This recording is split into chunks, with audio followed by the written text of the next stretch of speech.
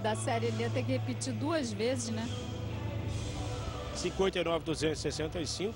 Ele precisa de 14,266 para ser o primeiro colocado. Lembrando que nós teremos o Daniel Purvis da Grã-Bretanha neste aparelho.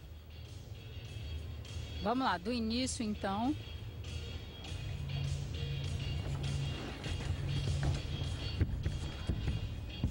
Agora tudo certo, né?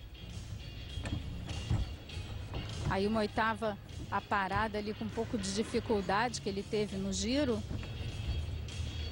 Movimentos em uma barra tem um valor de dificuldade muito alto no código.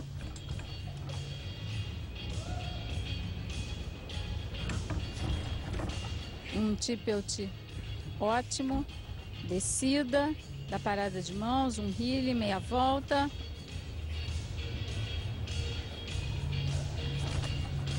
Também faz saída em duplo mortal carpado, cumpriu uma série muito boa, apesar ali daquele probleminha anterior com o aparelho, ele conseguiu chegar e fazer uma boa apresentação.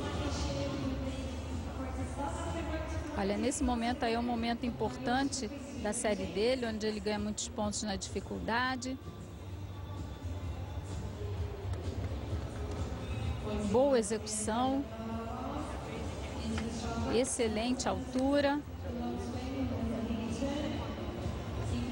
Saída em duplo mortal carpado ali, ele dá um passo largo na chegada.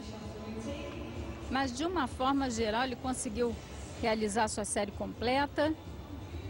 Agora vamos ver, né? Acima de 14,200 ele vai conseguir assumir a liderança. Teramoto fica com 41,666 no total após ter alcançado 13,200 na trave.